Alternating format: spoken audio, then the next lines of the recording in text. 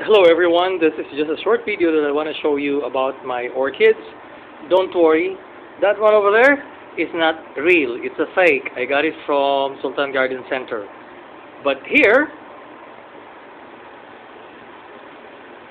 is a real Phalaenopsis orchid which I got from Rabia.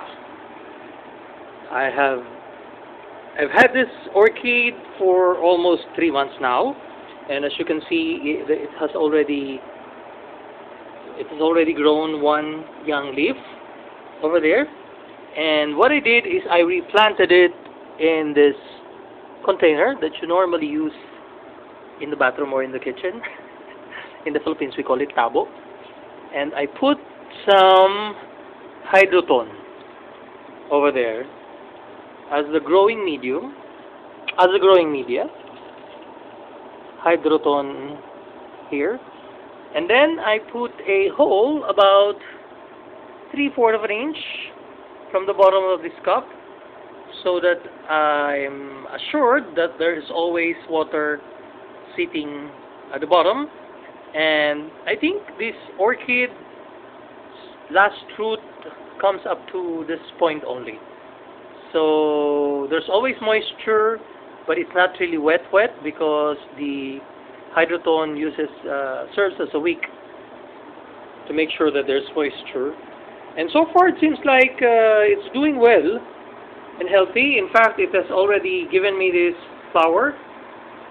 The blooms finished about a month after I bought it and it has now given me one beautiful flower. And I think there's still some more over there and even here I hope and this one I hope will turn to be a flower. I hope that those are buds. But anyway I just wanted to experiment and make sure that I can grow orchids even in Saudi Arabia that it's not a disposable plant because every now and then you find all these beautiful orchids in the plant store in the nurseries and you sometimes you even wonder so what happens to these plants? Are uh, do the people who buy them uh, actually able to to make them grow and thrive without you know the necessity of having them on 24 hours 24/7 on an air conditioned room.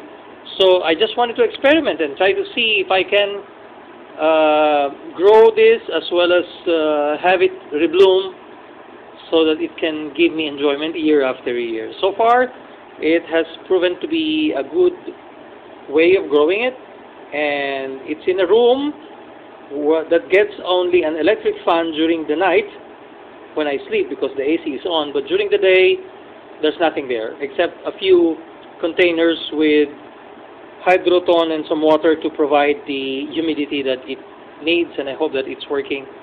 There you have it. An orchid in Jeddah, Saudi Arabia and I hope that other people who are watching this would also be encouraged to take up the hobby and see what comes out of it.